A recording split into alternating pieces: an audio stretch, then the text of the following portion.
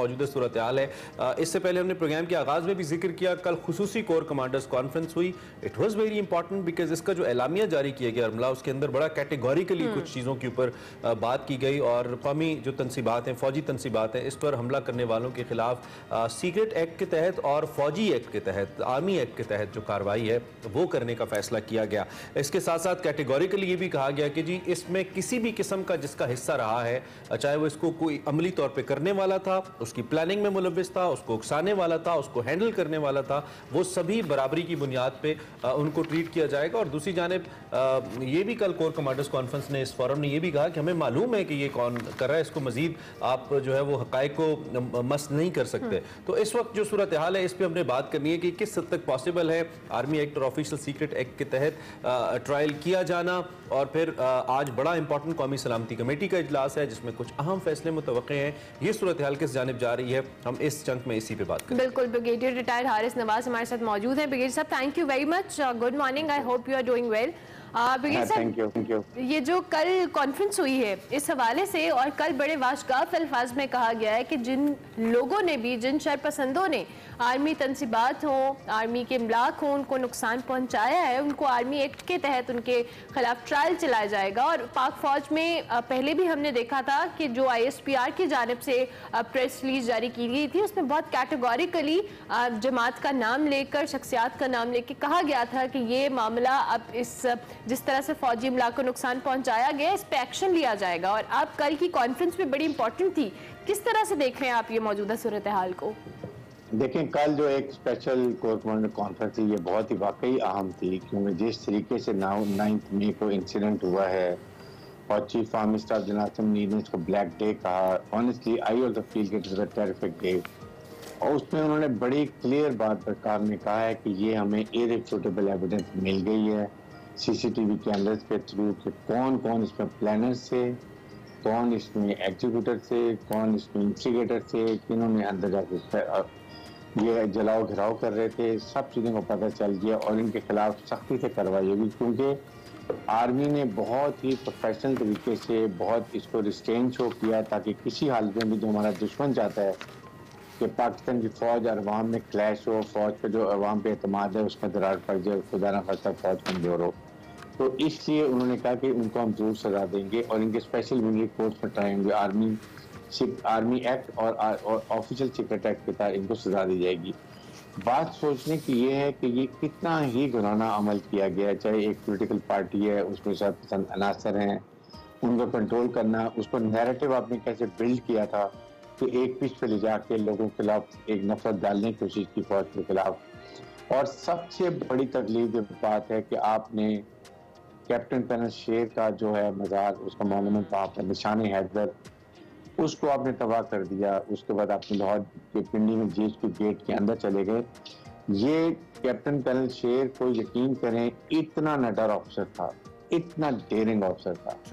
जिस तरीके से इन्होंने पाँच छह दिन दुश्मन के खिलाफ लड़ाई रखी है और फाइनली उनके कोर कमांडर ने एक्सेप्ट किया उनकी पॉकेट में एक चिट डाल के दी पाकिस्तान मिलिट्री के लिए जी कि ये ऑफिसर जिस जवा मर्ज़ी से लड़ा है। हम्म। अभी एक्नॉलेज और हम सल्यूट करते हैं और we recommend highest guarantee for Indian commander ने कहा।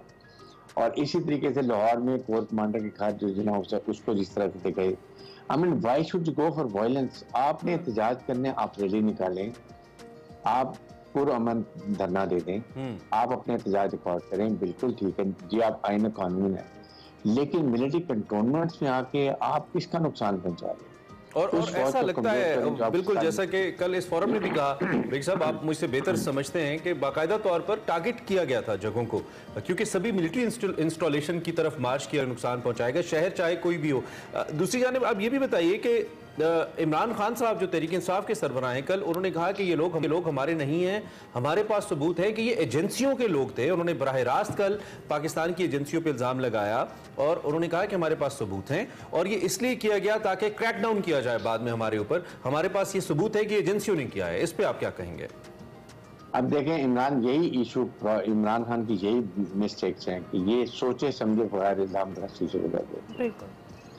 क्या आपकी मुसल्ह फौज अपने इस तरह के शहीदों को बेहरमती करेंगे? क्या वो कोर कमांडर के घर में ऐसी हरकत करवाएँगे? अगर आप ये कहें कि किसी पॉलिटिकल पार्टी को जिसने एडवांटेज लेना चाहता था उनके लोगों तो आई विल एग्री या उनके बिहार पे कुछ लोगों तो it may be possible but ये तो एक एक्सेप्टेबल ही नहीं है कि ये इस तरीके से जेज को गेट तौर तोड़ दें और एजेंसियाँ करें। आप फिर जाके तो यही बात बार बार कहते हैं कि इसमें चीफ आर्मी स्टाफ डायरेक्ट मिला हुआ है इमरान खान शुड रियलाइज़ कि आप सियासी तरीके से लड़े आप फौज को ड्रैग ना करें। आपको चाहिए कि आप जिस वक्त चेंज ऑफ़ कमांड हुई थी आप अपने एक जो एक लैक ऑफ़ मिस्ट्रस्ट था आप उसको रिपेयर करके बजाय कि आप और बढ़ाते जा रहे हैं। और फिर उसके बाद अभी भी देखें कितना फौज ने रिस्टेन शो किया। यहाँ तक उन्होंने कहा कि जिस तरह chief chief justice of Pakistan ने कहा है कि दोबारा मुजाकर को शुरू करें and be are there to help out जहाँ भी हम कर सकते हैं।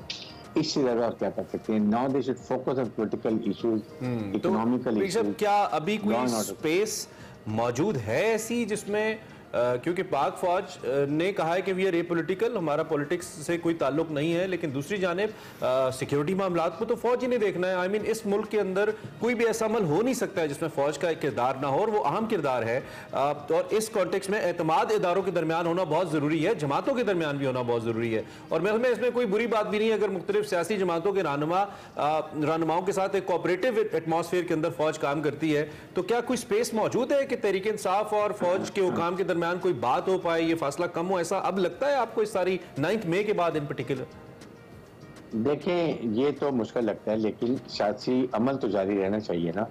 आप उसके लिए हुकूमत ने जो कल जिस तरह का जाके वहाँ पर एक हरकत की है सुप्रीम कोर्ट के सामने चले गए मौलाना फजलुर रहमान मरियम नवाज़ ने जो लैंग्वेज इस्तेमाल की है चीफ जस्टिस के खिलाफ even not calling chief justice बल्कि अता बंदयाल कह के पुकारा गया जी।